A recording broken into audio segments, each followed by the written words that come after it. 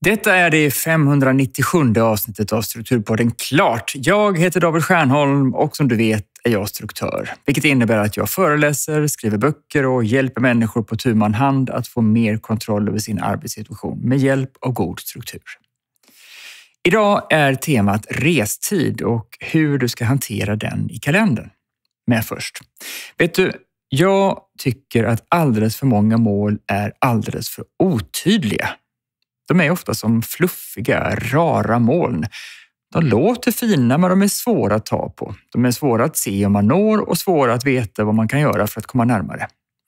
Då är det väldigt svårt att prioritera när du har mycket att göra. För vad är viktigt när allt är brådskande?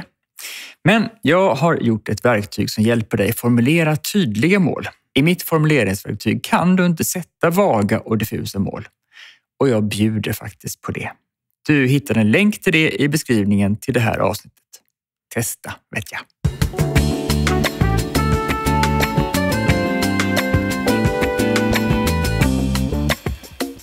Att komma för sent till ett möte är inget vidare. Inte att stressa och anlända svettig heller.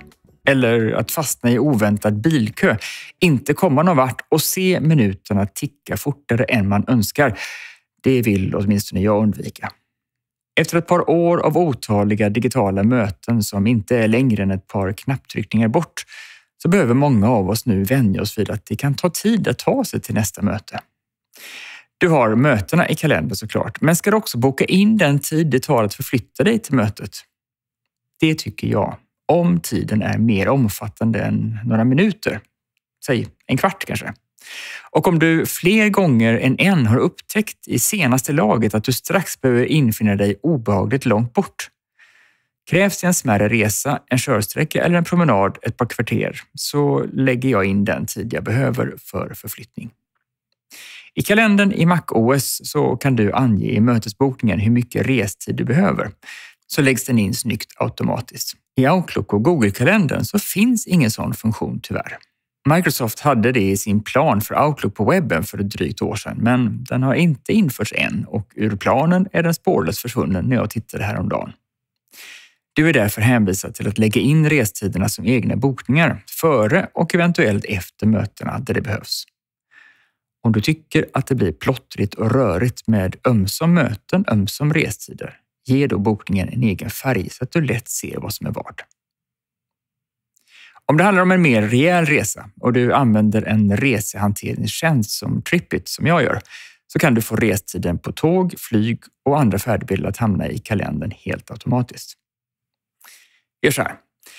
Vill du försäkra dig om att du hinner till mötena en bit bort, så först gå igenom kalendern för de närmaste månaderna redan nu och leta efter möten du kommer att behöva förflytta dig till. Lägg in den förmodade tiden du behöver för att ta dig dit det kan såklart bli ändring på det allt eftersom du bokar in andra möten strax före så att du då inte är där du idag tror att du kommer att vara. Men det justerar du vid behov bara. Om du vet med dig att du behöver det, sätt en påminnelse i restidsbokningen som säger till när du behöver resa dig och sätta fart, så slipper du hålla koll i onödan. För om du lägger in i kalendern den förflyttningstid du kommer att behöva för att ta dig till mötena som du ska ha, så slipper du stressa så mycket i fortsättningen. Din dag blir mindre pressad och du har mer kontroll över din planering som nu stämmer bättre med verkligheten dessutom. Bokar du in restiden i din kalender? Om så, hur? Skriv till mig och berätta. Eftersom jag fick en fråga om just det här av en läsare i förra veckan så är detta en detalj som intresserar mig just nu. Maila mig till david.stjernholm.com vet jag. Tack för idag och på återhörande nästa vecka.